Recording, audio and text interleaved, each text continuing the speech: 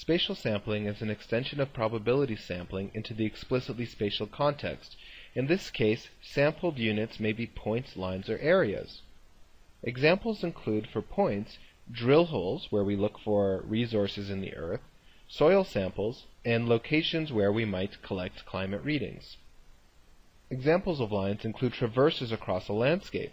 One of the researchers in our department is famous for making traverses across Arctic ice sheets and monitoring the amount of snow melt and temperature at different locations along these cross-sectional lines across the, the, the, ice sheet.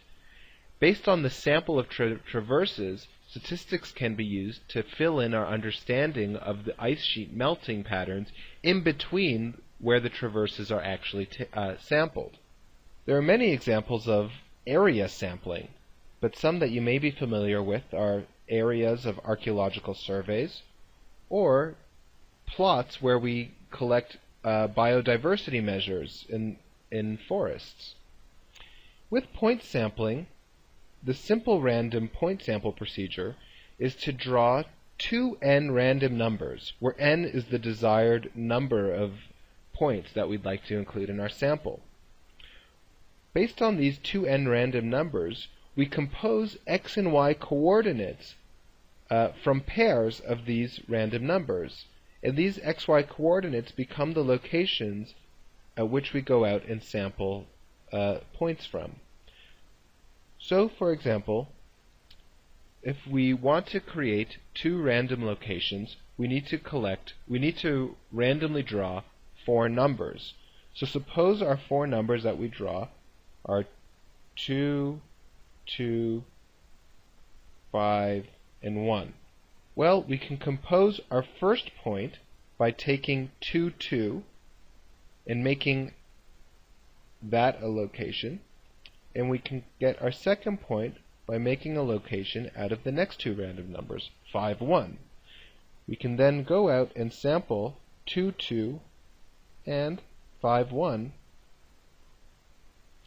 And that's how we can create random locations for point sampling. In systematic point sampling, we maintain regularity or evenness over the study area. In this case, we will randomly select a starting point. So, for example, we randomly selected this point as our starting point, and then we need to take samples at evenly spaced directions, at evenly spaced distances in each direction.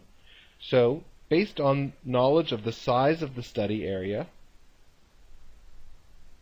and the desired number of responses in our sample, we can calculate a distance that we need to use in order to separate our sample points in each dimension, the east-west dimension and the north-south dimension.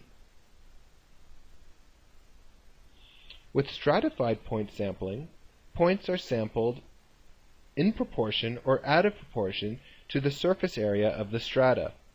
This is very similar to the example that I showed you previously with stratified sampling for non-point data. In clustered point sampling, we involve two stages of randomization. First, we are going to select clusters at random, and then we are going to randomly select points within each cluster using one of the systematic, random, or stratified approaches identified previously.